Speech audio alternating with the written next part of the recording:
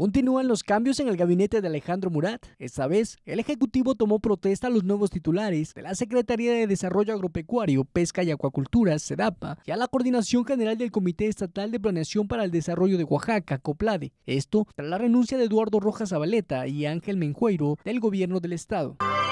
Les pregunto, ¿protestan guardar y hacer guardar la constitución política de los Estados Unidos mexicanos? La particular del Estado, las leyes que de una y otra emanen, cumplir leal y patrióticamente con los deberes del cargo que el Estado les ha conferido y el Estado se los demanda.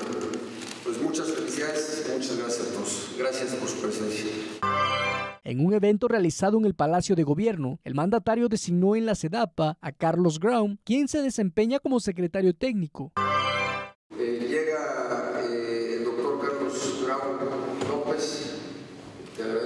pues es ya una gente eh, respetada, conocida en el gremio, y bueno, pues tu tarea primero es mantener ese ritmo que alcanzó Eduardo y eh, pues claramente consolidar estos proyectos y acrecentar la dinámica económica en el estado de Oaxaca.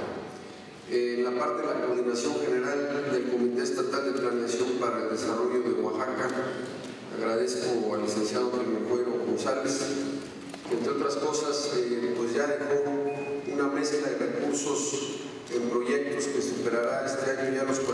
de pesos. En la Coplade hizo la designación de Sergio Vera, quien entró en lugar de Ángel Menjueiro, mientras que Jocabet Betanzos Velázquez, quien se desempeñaba como regidora de Hacienda y de Contraloría en el municipio de Oaxaca de Juárez, la nombró en la Subsecretaría de Innovación de la Secretaría de Economía. Alejandro Murat pidió a los nuevos funcionarios conducirse con legalidad y profesionalismo en la nueva tarea encomendada dentro del gobierno del Estado. En este mismo sentido, agradeció también a Eduardo Rojas Zabaleta y a Ángel Menjueiro el papel desempeñado en un año dentro del gobierno estatal.